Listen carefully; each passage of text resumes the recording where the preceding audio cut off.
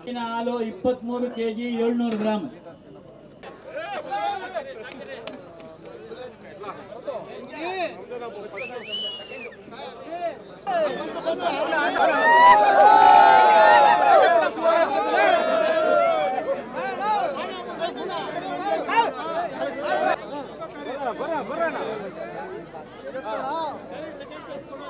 Litre ಗಟ್ಟಲೆ ಹಾಲು ಕೊಡುತ್ತಿರುವ ಹಸುಗಳು ಕರುಗಳನ್ನ ಕಟ್ಟಿ ಹಾಲು ಕರೆಯುತ್ತಿರುವ ಗೋಪಾಲಕರು. ಮತ್ತೊಂದೆಡೆ ಹಾಲನ್ನ ತೂಕ ಮಾಡುವ ಆಯೋಜಕರು. ಇದೆಲ್ಲಾ ದೃಶ್ಯಗಳು ಕಂಡು ಬಂದದ್ದು ಕೋಲಾರದ ಸಿ. ಬೈರೇಗೌಡ ನಗರದ ಬಳಿ ಇರುವ ಹೆಚ್ಚು ಹಾಲು ಕೊಡುವ ಸ್ಪರ್ಧೆಯಲ್ಲಿ. ಹೌದು, ಹಸುವಿನ ಹಾಲು ಕರೆಯುವ ವಿಶೇಷ ಮತ್ತು ಅರ್ಥಗರ್ಭಿತವಾದ ಸ್ಪರ್ಧೆಯನ್ನ ಕೋಲಾರದ ಗೋಪಾಲಕರ ಸಂಘದ ವತಿಯಿಂದ ಆಯೋಜನೆ ಮಾಡಲಾಗಿತ್ತು.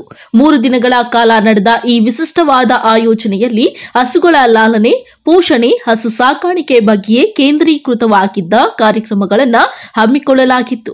ಇತ್ತೀಚಿನ ದಿನಗಳಲ್ಲಿ ಗ್ರಾಮೀಣ ಸೊಗಡಿನ ಸ್ಪರ್ಧೆಗಳು ನಶಿಸುತ್ತಿವೆ. ಹಾಗಾಗಿ ಹಾಲು ಕರೆಯುವ ಸ್ಪರ್ಧೆ, ಹಸು ಹೈನುಗಾರಿಕೆಗೆ ಸಂಬಂಧಪಟ್ಟಂತೆ ರೈತರಲ್ಲಿ ಕೊಂಚ ಹುಮ್ಮಸ್ಸು, ಆಸಕ್ತಿ ಹುಟ್ಟಿಸುವ ನಿಟ್ಟಿನಲ್ಲಿ ಅರ್ಥಗರ್ಭಿತವಾಗಿತ್ತು.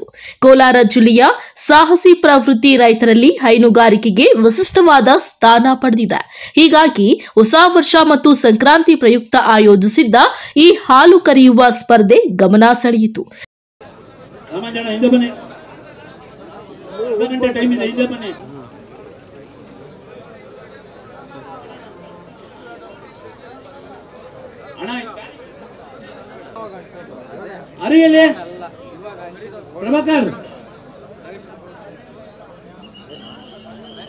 ವಿವಿಧ ಸ್ಥಳಗಳಿಂದ ಬಂದಿದ್ದ ಇಪ್ಪತ್ತ ಐದು ರೈತರು ಹಾಲು ಕರೆಯುವ ಸ್ಪರ್ಧೆಯಲ್ಲಿ ಭಾಗವಹಿಸಿದ್ರು.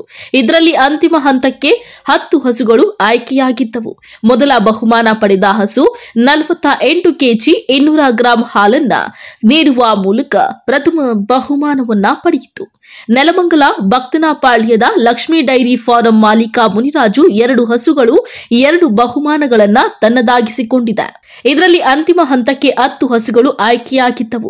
ಮೊದಲ ಬಹುಮಾನ ಪಡೆದ ಹಸು ನಲವತ್ತ ಎಂಟು ಕೆಜಿ ಇನ್ನೂರು ಗ್ರಾಂ ಹಾಲನ್ನ ನೀಡುವ ಮೂಲಕ ಪ್ರಥಮ ಬಹುಮಾನ ಪಡೆಯಿತು. ನೆಲಮಂಗಲ, ಭಕ್ತನಪಾಳ್ಯ, ಲಕ್ಷ್ಮೀ ಡೈರಿ ಫಾರಂ ಮಾಲೀಕ ಮುನಿರಾಜು ಎರಡು ಹಸುಗಳ ಎರಡನೇ ಬಹುಮಾನವನ್ನ ತನ್ನದಾಗಿಸಿಕೊಂಡಿತು.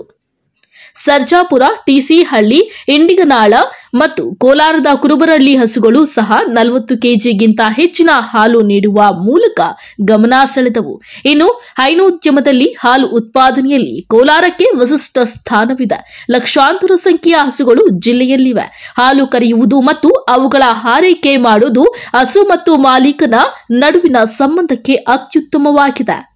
ಕೋಲಾರ ಜಿಲ್ಲೆಯಲ್ಲಿ ರೈತರಿಗೆ ಕೃಷಿಯ ಜೊತೆಗೆ ಹೈನುಗಾರಿಕೆ ಒಂದು ಪರ್ಯಾಯವಾಗಿ ಬೆಳೆದಿರುವುದು ಉದ್ಯಮವಾಗಿದೆ. ಹಾಗಾಗಿ ಈ ಆಯೋಜನೆ ಸಾಕಷ್ಟು ಪ್ರಯೋಜನಕಾರಿಯಾಗಿತ್ತು.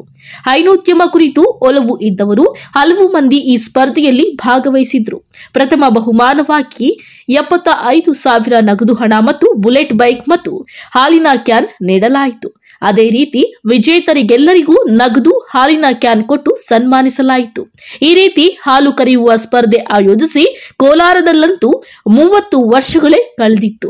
ರಾಜ್ಯದಲ್ಲೂ ಸಹ ಎಲ್ಲಿಯೂ ಈ ರೀತಿಯ ಹಾಲು ಕರೆಯುವ ಸ್ಪರ್ಧೆ ನಡೆದಿಲ್ಲ. ಈ ಹಿನ್ನೆಲೆಯಲ್ಲಿ ಹಸು ಸಾಕಾಣಿಕೆ ಕುರಿತು ಮಾಹಿತಿಗಳಿಗೂ ಸಹ ಈ ಮೂರು ದಿನಗಳ ಆಯೋಜನೆ ಒಂದು ರೀತಿಯ ವಿಶೇಷವಾಗಿತ್ತು. ಹೀಗಾಗಿನೇ ಹಸು ಸಾಕಾಣಿಕೆಯಲ್ಲಿ ತೊಡಗಿಸಿಕೊಂಡ ಹಲವು ಮಂದಿ ಭಾಗವಹಿಸುವ ಮೂಲಕ ಆಯೋಜನೆ ಮಾಡಿರುವವರಿಗೂ ಸಹ ಉತ್ತೇಜಿಸಲಾಯಿತು. ಒಟ್ಟಾರೆ ಇದೇ ಮೊದಲ ಬಾರಿಗೆ ಕೋಲಾರದ ಗೋಪಾಲಕರನ್ನ ಉತ್ತೇಜಿಸುವ ನಿಟ್ಟಿನಲ್ಲಿ ರಾಜ್ಯ ಮಟ್ಟದ ಹಾಲು ಕರೆಯುವ ಸ್ಪರ್ಧೆ ಎಲ್ಲರ ಗಮನ ಸೆಳೆಯಿತು.